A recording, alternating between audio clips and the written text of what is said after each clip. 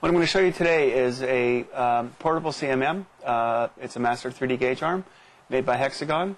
Uh, the unit here is a very uh, portable and affordable unit.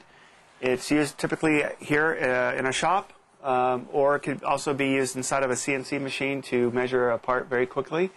Um, what I have here is Verisurf software. Uh, it's used for inspection.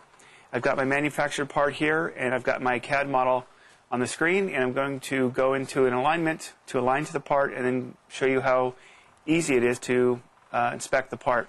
This unit here is uh, has uh, six degrees of freedom of movement and it has a working volume of uh, four foot diameter sphere and uh, within that sphere I should be able to hold uh, plus or minus one thousandths of an inch. So what I'm going to do here in the software is create some targets so I can do my alignment. I'm just going to select four targets on the surface of the CAD model here, and two on the front of the model, and one on the side. And once I've done that, I can go and run my auto align.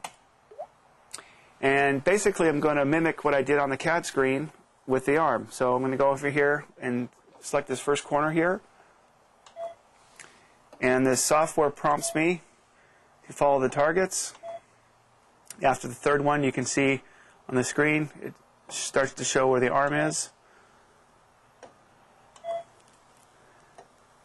And last one here.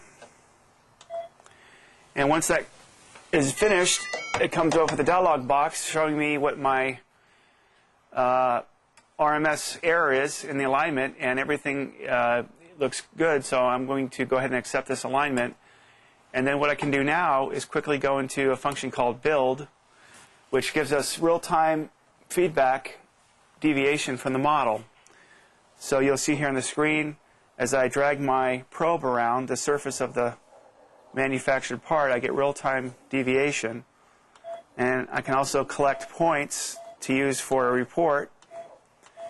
And these points also are color-coded so green is within my tolerance, and I also get text showing me what the real deviation is.